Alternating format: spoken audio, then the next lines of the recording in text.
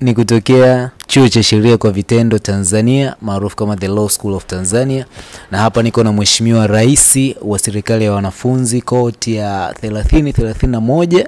Kwa cheo chake nimemtambulisha, ajitambulishe kwa jina lake.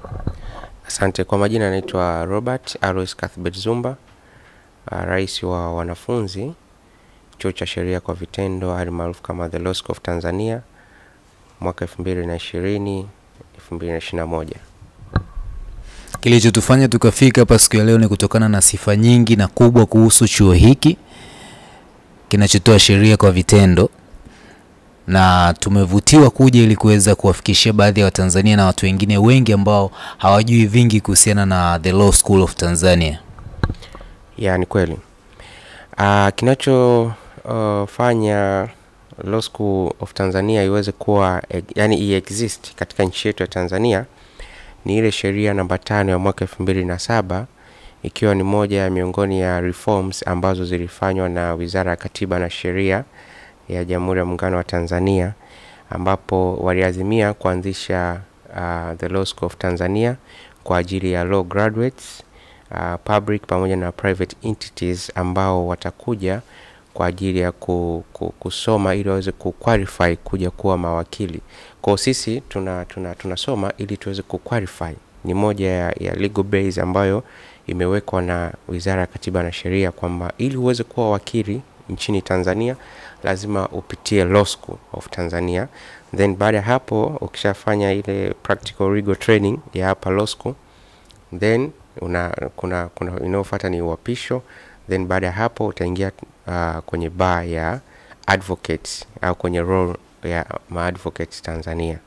Then mission ya School of Tanzania ni it's, it, actually ni kuprovide legal service to law graduates kwa wanafunzi wote ambao wanamaliza sheria Tanzania katika vyuo mbalimbali nchini.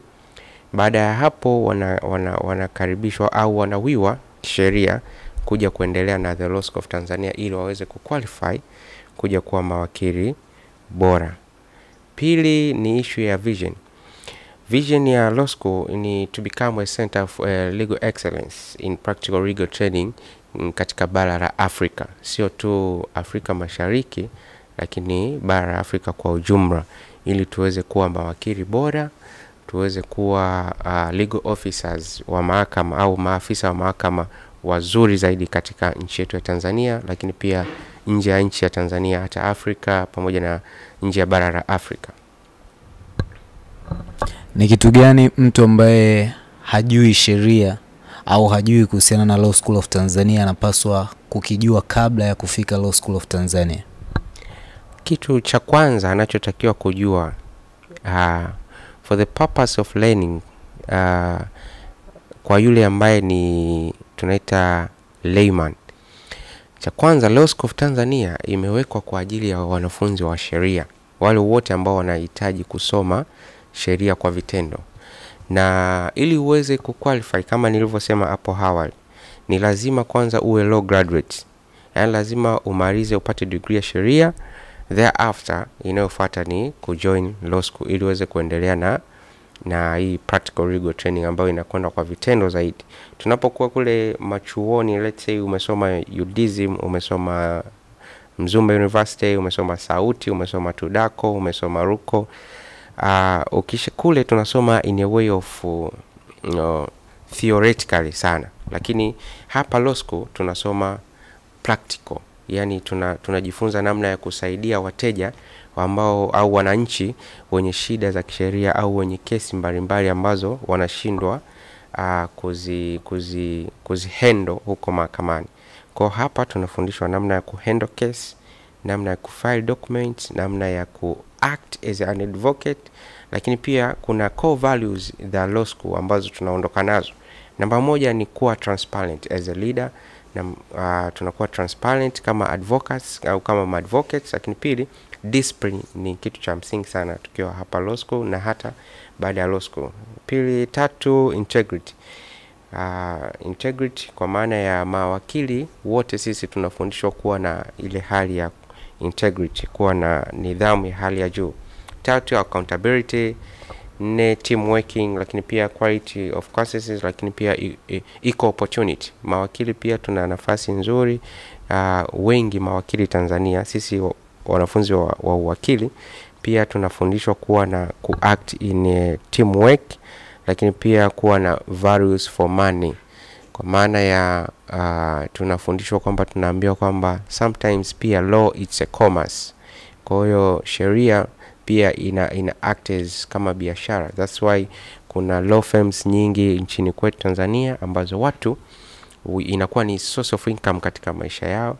Mawakili hao wanafanya kazi eh, za kuwasaidia wananchi kisheria lakini pia kuna some kind of payment ambazo huwa wa, wanapewa mawakili kwa ajili ya kuhendo kesi ya mteja fulani. Kwa hiyo tukiwa hapa law school kwa mapana yake niliyosema uh, sisi kama watanzania lakini pia kama wanafunzi wa sheria tunajifunza vitu vingi sana sana sana. Ndio maana unakuta watu wengi huwa wanasema kwamba uh, au tukiwa mahakamani tukiwa katika legal offices tuna ile ya ile ya statement ya kusema kwamba unamwita mwenzako wakili msomi.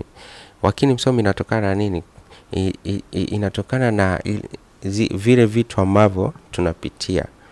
Kwa hiyo mtu anaposoma sheria katika nchi yetu ya tanzania au duniani kwa ujumla ni kwamba anakuwa ana, ana bypass all professions.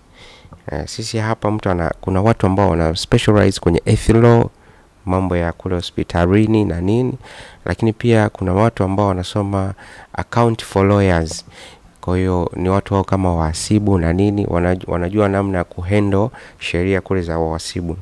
Lakini pia kuna watu wanasoma uh, commercial law kwa ajili ya biashara international trades international trade commercial law ambao watu wanajikita wana- zaidi kwenye biashara huko. Kuna watu ambao wanasoma environmental law let's say kama kuna baadhi ya watu ambao watu wakubwa tu wamesoma hiyo. Kwa hiyo ukijumlisha hizi zote zina follow under one profession ambao ni legal profession ya profession ya kisheria. Tunatoa wana, wanatoka majaji wengi katika nchi yetu wanatoka mawakili wakubwa wengi.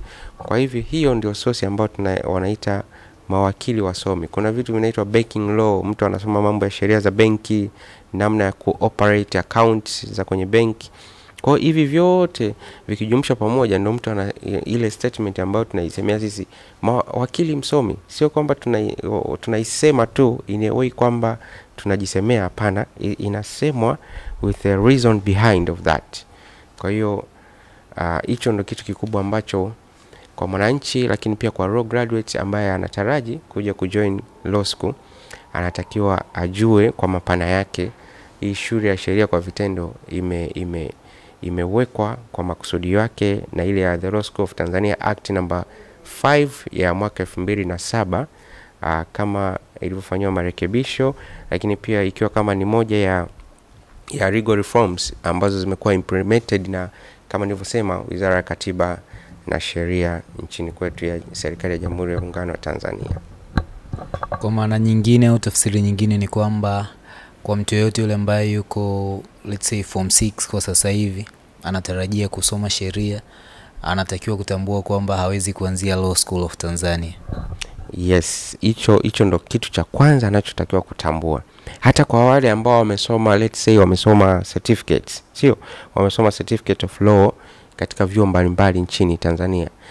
Anachotakiwa ku, ku, ni kufuata ule utaratibu ukishatoka let's say umesoma certificate unafuata unaposoma diploma.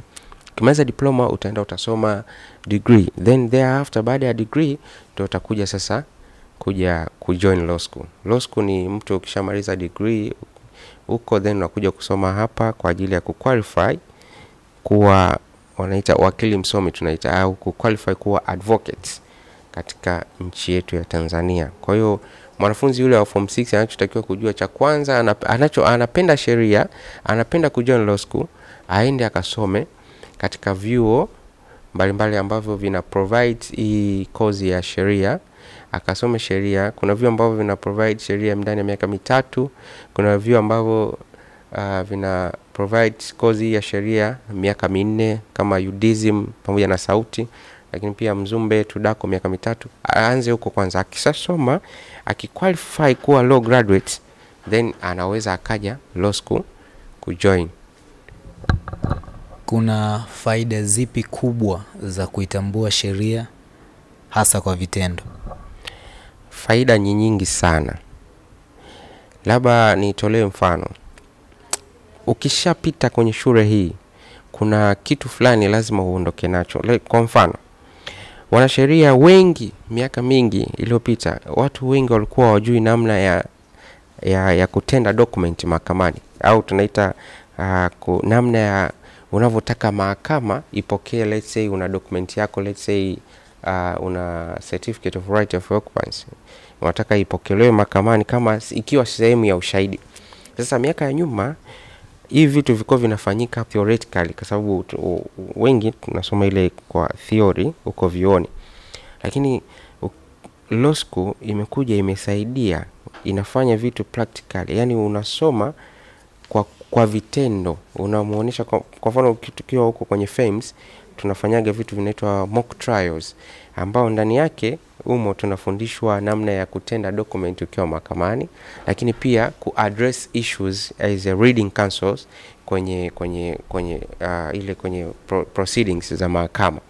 Kwa hivi kwa kufanya hivyo inasaidia sana sana sana tena kwa kiasi kikubwa. Yaani kwa mfano kama mimi upande wangu nimejifunza kwa kiasi kikubwa sana uh, ishu za kisheria, lakini uh, all about legal proceeding. Basi hongera kwa kufanikiwa kuwa rais wa wanasheria wanaoendelea kukamilisha elimu ama taaluma yao ya sheria kwa vitendo. Asante sana, asante, nashukuru.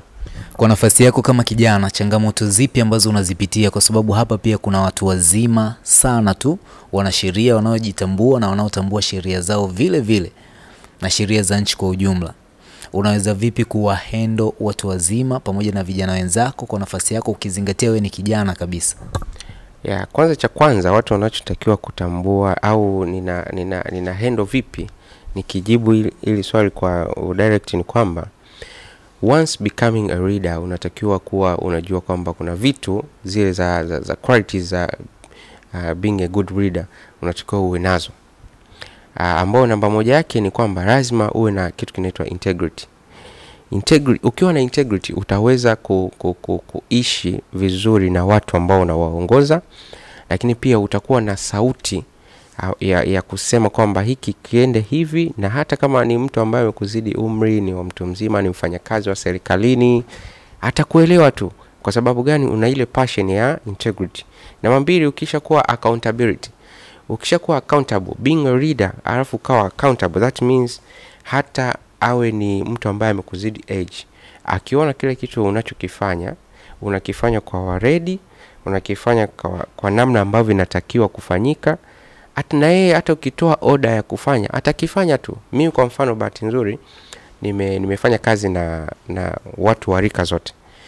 Uh, kwa mfano baraza langu la mawaziri uh, lina watu wa moderate. Kuna watu ambao wamenizidi umri kuna watu ambao nimewazidi na na kuna kuna gender gender equality pale. Umeona? Lakini pia mshauri wangu wa mshauri wangu ambaye tunamuita president advisor ni mtu ambaye amenizidi umri lakini pia ni ni mwalimu ni lecturer huko uh, chuo cha Dodoma. Kwa una, unajaribu kuona kwamba huyu mtu amenizidi kitu fulani lakini still ana ile kitu ya ya kuheshimu ile nafasi ambayo nilionayo na tunaweza tukafanya naye kazi vizuri na mambo yakawa yanaenda vizuri. Lakini all in all ninachotaka kusema ni kwamba kuwa kiongozi lazima uishi katika uh, vision na mission ile ya qualities ya good, good reader.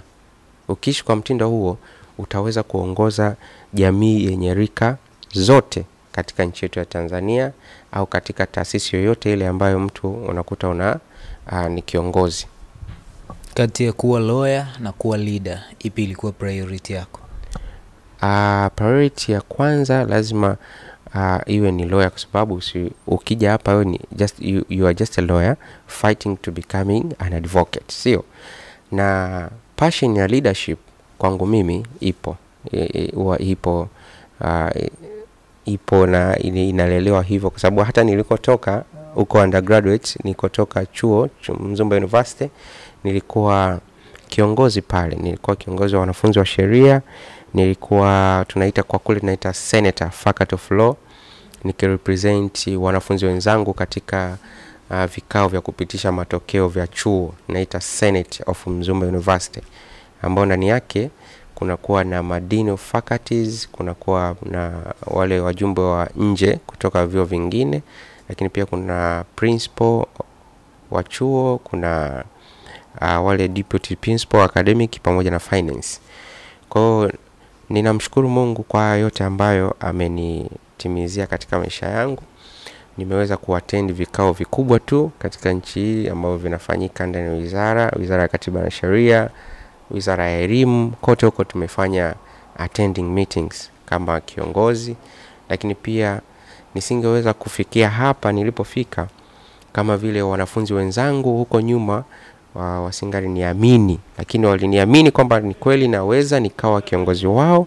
That's why nipo hapa nilipofika, kwa sababu ya nguvu ya watu, na watu wanatakiwa kutambua kwamba msione tu mtu amekaa pale somewhere, labda ni mtu fulani, ni kwa sababu nyuma yake kuna watu wengi sana ambao wameonyesha strong supportive kwake, na ndipo ambapo mnaona mtu anafanikiwa, anatoka step moja kwenda nyingine, step nyingine, mpaka leo hii kuja wanafunzi wa law school wenzangu pia wakaendelea kuniamini, wakanichagua kuwa rais wao wa koti ya thelathini pamoja na thelathini na moja kwa maana ya mwaka elfu mbili na ishirini mwaka jana pamoja na mwaka huu elfu mbili na ishirini na moja ambapo ndio namaliza muda wangu rasmi sasa. Katika upande mzima wa swala la uongozi, ni nani role model wako? role model wangu especially kwa nchi yetu ya Tanzania kwa ndani sawa, ni Mheshimiwa Dr. John Pombe Joseph Magufuli, Rais wa Jamhuri ya Muungano wa Tanzania. Kiukweli amekuwa ni, ni, ni kiongozi ambaye kwangu mimi nakuwa na maono naye mbele kwamba ni kiongozi ambaye kweli Mwenyezi Mungu alituletea Watanzania kwa ajili ya kuikomboa nchi yetu pale ambapo tulipokuwa aa, na kutuleta pale ambapo tulipo sasa, na zaidi bado tunaendelea kwenda mbele. Aa, kiukweli amefanya mambo makubwa sana, na jambo ambalo mimi ninamsifu au nime- imetoke- nimetokea kumkubali sana Mheshimiwa Rais ni pale ambapo aa, a- a- anapofa, anaposema kitu fulani kiwe na kinakuwa yani it's like a Jesus miracle. Alikuwa anasema iwe hivi na inakuwa. Kwa mfano uh, alitembelea alipoanza tu uongozi ile elfu mbili na kumi na tano immediate kumi na sita aka, akaanza kutembelea kwenye baadhi ya mahospitali. Akafika pale hospitali ya Muhimbili, miaka ile ya nyuma tulikuwa wagonjwa wanalala mpaka chini chini, yani unatembea unaona kabisa mzazi wako analala chini, hamna vitanda, mazingira ni ya ovyo kabisa. Lakini alifika pale akaweka oda ya siku saba kwamba hospitali nzima iwe na vitanda, na kiukweli kabisa ndani ya siku saba, baada ya wiki mbili mbele, mwimbili nzima wagonjwa wote wakaanza kulala kwenye vitanda. Mpaka leo hii ukienda mwimbili ni kama vile umeenda private hospital. Kwa kweli tunamshukuru sana Mheshimiwa Rais Dr. John, John Pombe Joseph magufuri Rais wa Jamhuri ya Muungano wa Tanzania, kwanza kwa kutubadilisha, lakini pia kwa kufanya awareness ya nchi kuwa kubwa. Unajua zamani wananchi wengi tulikuwa hatuna ile eh, awareness ya nchi, kujua taifa linakwendaje, kujua nchi inakwendaje. Leo hii watu ukimuuliza Mtanzania wa darasa la saba kabisa, yule wa chini ambaye tunasema hajasoma au yupo tu hata shule hana, anajua namna ya matumizi ya fedha ya nchi inavyofanyika, namna ambavyo uh, serikali ina, ina, ina correct inakusanya mapato yake, kodi, sijui kutoa risiti, anajua vitu vyote anajua. Hii ni kwa sababu gani? Tulimpata kiongozi wetu Mheshimiwa Rais Dr. John Pombe Joseph Magufuli, rais mwenye ukarimu na, na mwenye upendo kwa Watanzania kwa, kwa maana ya ya hii kitu ambayo anatusisitiza sana miaka yote nenda rudi, anapenda sana kusema kwamba tumtangulize Mungu mbele. Ah, hapo mimi ndio huwa ananifurahisha kabisa, kwa sababu katika dunia hii bila kumtanguliza Mungu mbele hakuna kitakachofanyika. Kwa hivyo rais wetu kwa kweli ni mtu mwenye maono na tunaendelea kumwombea sana, akaye akijua kwamba nyuma ana watu wengi sana, ana Watanzania wengi ambao tunamuunga mkono, tunampenda kwa hali zote, na Mungu aendelee kumbariki na kumlinda. Role model wangu kwa nchi za nje ni mheshimiwa rais mstaafu wa Marekani anaitwa rais uh, ndugu Barack Obama ambaye amestafu awamu zilizopita. Kwa kweli ni kiongozi ambaye uh, kwangu mimi huwa nikimwangalia naona kabisa uh, na yeye ana vision nzuri na amefanya kazi nzuri mpaka Marekani kuwa katika standards za kimataifa, lakini pia ame, ameitambulisha Marekani nchi za nje, nchi nyingi, lakini pia diplomasia, ana uwezo mkubwa wa kufanya diplomatic issues, kusolve conflict baina ya nchi na nchi. Uwezo huo ni mkubwa, na huwa yeye ni role model kwa sababu pia na yeye ni mwanasheria actually ni advocate, lakini pia uh, alikuwa uh, alisoma chuo kimoja kikubwa sana nchini Marekani huko, na ni mtu mwenye IQ kubwa, hata akiongea unaona kabisa uh, he is a reader. Kwa hiyo Barack Obama pia ni kiongozi ambaye kwangu mimi ni role model na atabaki kuwa role model maisha yangu yote. Kwenye upande wa swala zima la sheria, una ushauri gani wa vijana ukihusianisha na Law School of Tanzania kwa ufupi? Uh, ushauri wangu kwa vijana wote nchini Tanzania, kwanza, cha kwanza tunatakiwa tujitambue. Vijana sasa hivi nchi ya Tanzania uh, ni ya kwetu. Kwa hiyo tunachotakiwa sisi kuonesha ile awareness ya kujitambua. Rais wetu ameshatupa direction ya maisha yetu, direction ya nchi yetu inakoelekea. Sasa hatuna budi sisi kama vijana, kwa sababu ndio ndio marais wa kesho, ndio viongozi wa kesho, ndio mawaziri wa kesho, ndio makatibu, ndio wahasibu wa vitu vyote ambavyo vinaoperate sasa. Lazima tuwe tuamke na tuoneshe tuko tayari kwa kufanya kazi kwa bidii sana bila ku, kuweka usingizi mbele, kwa sababu tukiweka usingizi mbele na nchi pia italala. Kwa lazima tuamke, tufanye kazi kwa bidii, tumtangulize Mungu mbele, tuliopo mashureni tusome vizuri, tusome kwa bidii na tusome kwa umakini mkubwa, uh, tukiwa na malengo ya, ya, ya kuikomboa nchi yetu ya Tanzania. Na na kwa sisi wanasheria na kwa sisi wanasheria especially junior advocates na wengine tukumbuke kwamba uh, kazi yetu ni, ni maalum kwa ajili ya kutenda haki kwa wananchi wetu wa Tanzania na na kuf, ku, kuwajibika kwa kiuthabiti kabisa kwa hali kujitoa kwa hali na kwa moyo wote, lakini pia kutenda haki kwa wananchi wetu, kwa sababu kuna kuna kuna kuna uh, marehemu uh, judge uh, Luga Kingira aliwahi kusema katika moja ya judgment yake, alisema kwamba justice justice must be rooted with confidence and confidence can be destroyed when the right people think that they are biased. Kwa hiyo kwa sisi ambao tuna, tuna tupo katika huo mtanange wa kuprovide justice kwa wananchi, lazima tu, tu, tuwe tayari tuwe tuna confidence na kile kitu ambacho tunakiamua, tuwe tayari, tuwe tuna confidence ya kile kitu ambacho tunakisimamia, kwamba hii kesi nina uhakika kabisa tupo in the right side na tutakwenda tutashinda tukiwa mahakamani. Kwa hivi tusome vizuri sisi kama wanafunzi wa sheria, lakini pia kama upcoming advocates, tujitahidi tutende haki pale ambapo tuna tuna tuna tuna face challenges, lakini pia tuna tuna face uh, zile shida za wateja wetu ambao wanatufata. Kwa hivyo huo ndio ushauri wangu mkubwa sana kwa vijana. Vijana tusikate tamaa, maisha bado yapo, kuna kazi nyingi. Mi binafsi kwa mfano, sio tu nimekaa hapa ni mheshimiwa rais, lakini pia nishaifanya kazi hadi za mchangani kule mashimoni huko Mwabepande Shimoni. Tumefanya kazi nyingi sana, tumefanya kazi za vilimo, tumetembeza, tume, tume, tumeuza tunaita mifugo ng'ombe, a lot of things. Hiyo kwa sababu gani? Sikuwahi kukata tamaa na maisha. Kwa hiyo tuendelee kupambana, maisha ni upambanaji. Nchi yetu bado inatakiwa imove, itoke hapa tulipo na kwenda mbele, na watu ambao tutakaoweza kufanya nchi yetu imove ni sisi vijana wa karne hii ya ishirini na moja ambao tupo katika nchi yetu ya Tanzania. Tunahitaji mabadiliko zaidi, tunahitaji kuona uh, nchi yetu inasonga mbele zaidi kama nchi za bara la Ulaya, bara ya Amerika na nchi nyingine. Wakati naingia hapa nimesikia mapokezi kule, wahusika wa hapa umesema wanaitwa trainee, wakiwa wanazungumzia kwamba huu ni mwezi wa mheshimiwa president. Sikuelewa kivipi, ila baadaye nikiwa naendelea kuwaza nikasema nitakuuliza huu ni mwezi wa mheshimiwa president kivipi Uh, kwanza kuna namna yake.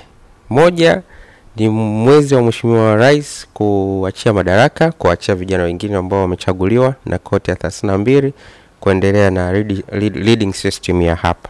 Lakini pili ni uh, ni mwezi ambao mimi nimezaliwa tarehe ishirini moja mwezi wa tatu uh, ni siku ya birthday yangu. Kwa hiyo siku hiyo nitakuwa birthday boy kwa, kwa namna moja au nyingine, na napenda kuwakaribisha wote siku hiyo tutakuwepo maeneo haya ya, ya Sinza ah, ambapo tutakata keki kwa pamoja na kwa upendo aa, tukishirikiana na watu wote. Jamani, karibuni sana. Siku hiyo siku ndo nitakuwa birthday boy na it's, a, it's my special day. Kwa kweli huwa na, na, na, na, na feel like something else kwamba inakuwa ni siku ya baraka na neema ambapo uh, Robert Cuthbert Alois Zumba alizaliwa na waliletwa duniani. Kwa hiyo napenda tena kumshukuru Mwenyezi Mungu kwa kunipa kibali ya, ya kufikia tarehe hiyo, tarehe ishirini na moja. Tunaendelea kumwomba Mungu aweze kutufikisha salama, bado siku kadhaa hapo mbele. Aa, ni matumaini yetu tutafika. Lakini pili, na washukuru sana wazazi wangu uh, Mr. and Mrs. Ray Royce Zumba kwa malezi yao mazuri kunikuza mpaka kufikia hapa nilipofikia. Kwa karibuni sana siku ya birthday yao. kwa niaba yao nasema asante kwa sababu lazima nitakuwepo cha mwisho tuweze kusikia pengine kama kuna pongezi maalum za watu wote wenye mchango kwenye maisha yako kuanzia ulipoanza hadi ulipofikia kwa ufupi Sawa, asante. Maisha yangu na, kwa, kwa wote ambao wananifahamu mimi mpaka kufikia hapa nilipo, yani huku nyuma ni a lot of people, lakini in a special very way naomba naomba naomba naomba niseme sana kwanza, shukrani zangu za kipekee ziende kwa Mwenyezi Mungu mwingi wa rehema, ambaye yeye ametupa uhai, lakini pia amenijalia neema na baraka za kuweza kufika mahali hapa nilipofika. Kwa kweli Mwenyezi Mungu asante sana. Bila bila wewe kwa kweli na bila nguvu zako nisingeweza kufika. Hivyo na, nasema asante Mungu Baba, Mungu Mwana, Mungu Roho Mtakatifu. Pili, napenda kutoa shukrani zangu za dhati kwa wazazi wangu uh, kwa malezi yao bora ambao wamenilea tangu nikiwa mtoto, tangu nilipozaliwa, nilipoletwa duniani mpaka nilipofikia hapa. Kwa kweli Mr. and Mrs. Ray Vocatus Alois Zumba, nasema asante sana Madam Conso, asante sana baba, asante sana mama.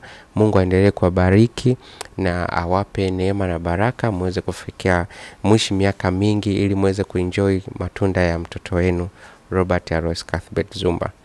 Tatu, napenda kutoa shukrani zangu za kipekee zimwendee baba padri eh, baba padri Pambo Martin Pambo OSB ambaye yeye ni baba abate mkuu wa shirika la Wabenediktini Abasia Mvimwa, hasa kwa sara zake ndani yangu aa, na pia kwa neema na baraka ambazo ananiombea kwa Mwenyezi Mungu. E, yeye ni baba yangu wa kiroho tangu since then nikiwa primary nimesoma katika shule yao ya mission. Kwa hivyo nashukuru sana baba padri, asante kwa upendo. Mungu aendelee kukupa neema na baraka zake, uendelee kututumikia sisi waamini wako, na sisi tutaendelea kukuombea kwa Mungu. Pia napenda kutoa shukrani zangu za kipekee hasa kwa babangu mdogo Mr. and Mrs. Fortunatus Fwema uh, pamoja na mama mdogo mama Fwema uh, kwa kweli kwa malezi yenu bora, lakini pia kwa sapoti yenu katika maisha yangu, kwa sababu na pia kiukweli uh, mzee Fortunatus Fwema una mchango mkubwa sana katika maisha yangu, na kwa namna pekee napenda kuwaombea sana sana katika familia yenu. Mungu aendelee kuwabariki, Mungu aendelee kuwapa neema na baraka zake ili muweze kuwa na maisha marefu zaidi. Lakini pia napenda kutoa shukrani zangu za kipekee kwa wanafunzi wenzangu wa hapa shule ya sheria kwa vitendo alimaarufu kama The Law School of Tanzania kwa kuniamini sana na kwa kunipa kura nyingi sana za kuweza kuwa kiongozi wao hapa The Law School of Tanzania, mwakilishi wa wanafunzi katika bodi ya The Law School of Tanzania. Kwa kweli nawashukuru sana wanafunzi wenzangu, wana trainee wenzangu, wana lawyers wenzangu. Mungu aendelee kuwabariki, atufunulie zaidi tuweze kuwa mawakili bora katika nchi yetu ya Tanzania na, na pia tuweze kufanikiwa katika nyanja nyingine za kimaisha. Lakini pia napenda kuwashukuru wanafunzi wenzangu wa Chuo Kikuu cha Mzumbe uh, kule nilipotoka waliweza kunichagua kuwa senator faculty of law. Kwa kweli Mungu awabariki sana. Tunaendelea kuombeana, kupeana heri. Umoja wetu ndio nguvu yetu. Sisi ni vijana, tuendelee kupeana heri na baraka ili tuweze kutimiza ndoto zetu za kimaisha. Uh, kwa namna pekee na mwisho pia uh, si muhimu lakini napenda pia kutoa shukrani kwa familia ya mzee e, marehemu mzee Valen Marichewe kwa msaada wao mkubwa ambao umeonyesha katika familia yetu, msaada wao mkubwa ambao waliutoa kwa baba yetu. Pengine uh, tusingefika hapa tulipofika kama kama huyu mzee Marichewe angekuwa na roho ile ya kutokuwa na upendo kwa ndugu zake, lakini alifanya upendo kwa baba yangu, that's why baba akawa hivyo alivyokuwa, lakini pia familia yetu kuwa hivi tulivyokuwa sasa hivi. Kwa kweli Mungu aendelee kuwabariki familia ya mzee Marichewe. Uh, tuendelee kuombeana na kupeana heri.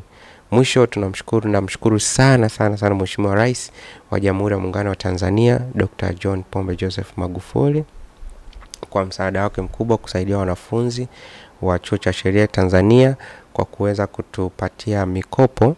Miaka ya nyuma kulikuwa tupati mikopo, lakini pia kwa msaada wake na kupitia uongozi wa mjumbe wake mwenyekiti wa TAHLISO Peter Niboye kushirikiana na pamoja na uongozi wa The Law School of Tanzania tumeweza kuruhusiwa sasa wanafunzi wa, wa, wa, wa chuo cha sheria kwa, cha sheria kwa vitendo Tanzania, wanafunzi sasa wanapata mikopo uh, vizuri.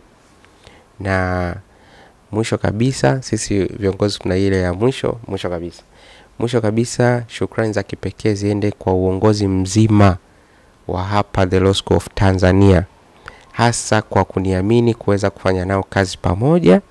Ujumla wake wafanyakazi wote, nikianzia na wafanyakazi wa chini kabisa huku, kuanzia kwa maaskari wetu ambao wanaturindia hapa, pamoja na wafanya usafi wa majengo yetu, lakini pia kwa namna pekee shukrani zimwendee Madam Dean ambaye tumekuwa tukifanya naye kazi pamoja akiwa kama ni moja ya department yake. Uh, Madam Mtera, Dean of Student, The Law School of Tanzania. Lakini pia shukrani za kipekee kwa walimu wetu wapendwa, uh, course instructors uh, tukianzia na Mr. Senior uh, Advocate Edward Chua uh, department ya ethics, lakini pia uh, department ya civil procedure. Napenda sana kutoa shukrani zangu za dhati kwa uh, nguvu zao kubwa walizozionyesha kwetu.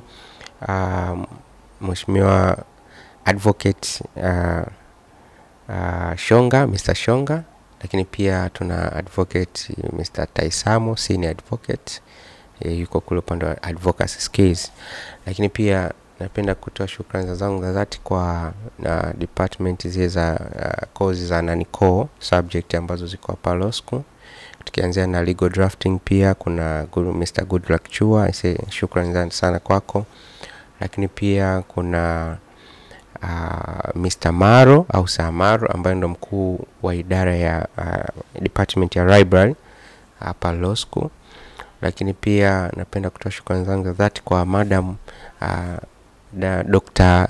Natujwa Mvungi ambaye pia ni course instructor wa somo la human right and legal aids hapa law school, lakini pia napenda kutoa shukrani zangu za zati kwa Mr. Clement pamoja na Andit uh, department ya commercial law kule, lakini pia napenda kutoa shukrani zangu za zati sana kwa uh, IT wetu hapa Law School of Tanzania. Ni, tumefanya nao kazi pamoja kwao, walitutengenezea program ya kusoma online inaitwa Moodle. Kwa asante sana Mr. Elias pale uh, na department yenu nzima ya IT uh, hapa Law School. Kwa kweli asanteni sana kwa kufanya kazi pamoja nanyi, lakini pia napenda kutoa shukrani zangu za dhati kwa wahasibu accountants wa The Law of Tanzania. Uh, pia nimefanya kazi pamoja nanyi, nashukuru sana kwa upendo wenu na kwa ushirikiano wenu. Mr. Kurwa, asante sana. Uh, shukrani sasa za kipekee ziende kwa viongozi wa juu uh, nikianza na Deputy Principal Finance and Administration Dr. Paranjo. Nashukuru sana, umenifundisha mengi na nimejifunza mengi kutoka kwako.